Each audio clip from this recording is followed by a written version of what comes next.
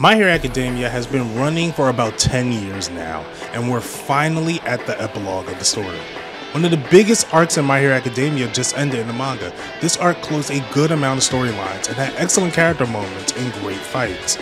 There are a lot of moments that stood out to me, and today I'll be going over my favorite chapters from this arc.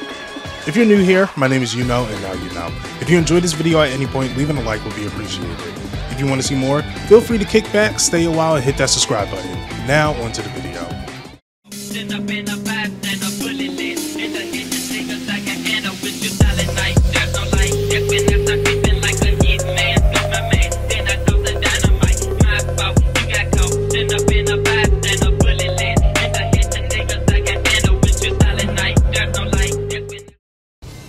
Chapter 352 Ultimate Moves. This chapter continues on with the battle of brothers, Shoto versus Toya. This chapter had a moment that was a long time coming, with Shoto finally perfecting the fire and ice, surpassing the power of his father. And he found out a way to do it his own. Instead of doing it the way his father intended, having the ice stifle the heat, he uses the fire to stifle the cold, producing a cold fire. This chapter was also the introduction of Shoto's new final move, Great Glacier Aegir. The art in this chapter was spectacular as well. Chapter 357 Wounded Hero Burning Bright and True. This chapter was so raw. At this point in the story, the Todorokis were carrying the arc. Anytime Endeavor is in the fight, it's always pure gas. He truly went all out in this chapter.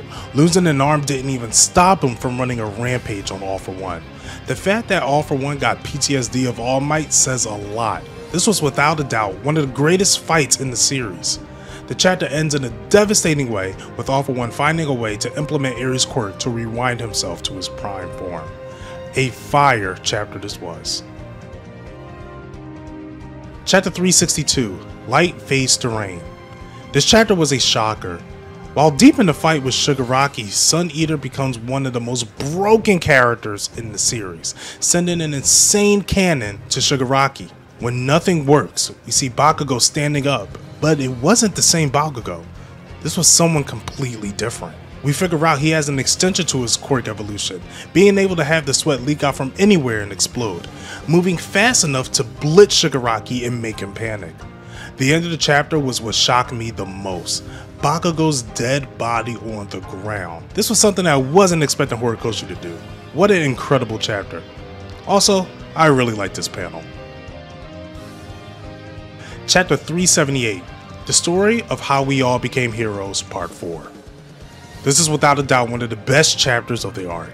Throughout the series, we see that Deku reasoned with some of the antagonists, two of them coming back in this chapter that really made it for me. You guys already know I was hype about Gentle coming back, but man, this chapter really brought back hope into the heroes winning this war. The quote, no matter how far they've fallen, each villain is still a human being, fits this chapter perfectly.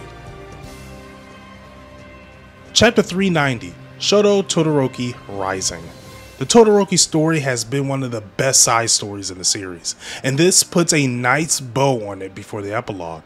I did like the first ending to Toya and Shoto, however I did feel robbed because it feels like Endeavor needed that moment with his son before the conflict ends. I'm so glad we got in that. And not only that, we got the whole Todoroki family trying to stop Toya. They said during the aftermath of the previous war that Shoto was going to be the hero of the family, and he makes it just in time to stop the nuke that Dabi was becoming. I love the part where Shoto says he isn't a masterpiece creation that everyone puts on him. And if it wasn't for his family, he would not have been able to save them. One thing I was really worried about was that Toya was going to turn good after this moment.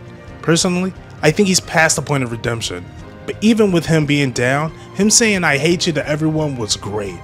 And Endeavor confronting him, being the father that he should have been, apologizing not only to him, but the rest of his family. I love this chapter.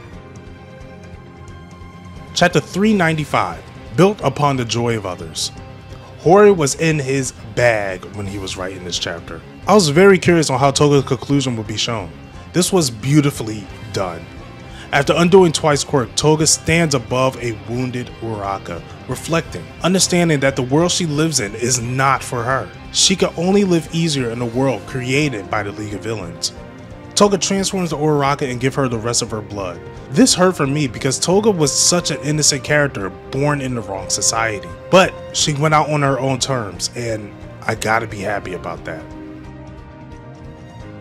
Chapter 403 The End of an Era and the Beginning. This chapter was legendary to me. All Might on the brink of death.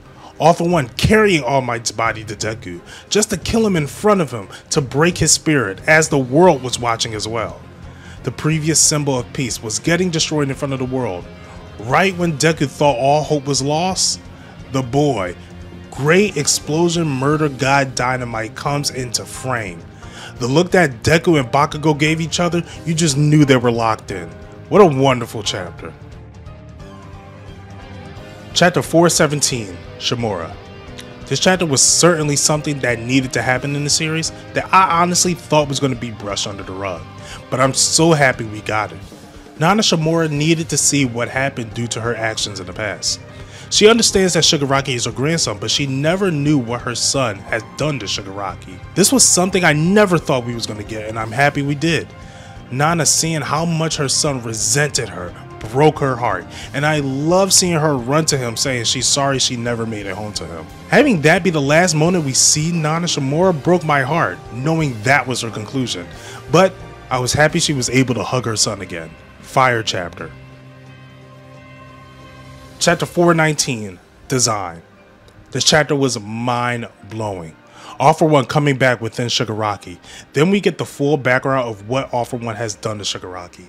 How he took away his original quirk. How he's friends with his parents. How Decay is overhaul stripped of his regen. When you think this couldn't get any worse, Deku is shown with both arms gone. With all hope lost, Sero, Ojiro, and Sato all show up alongside Aizawa. What a great chapter this was.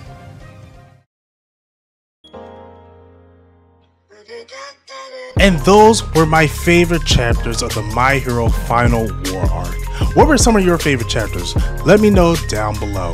And if you want to see more My Hero Academia content, be sure to like this video and subscribe to the channel. That way you'll know when they come out. Thank you guys for watching, and until then, you know where to find you now.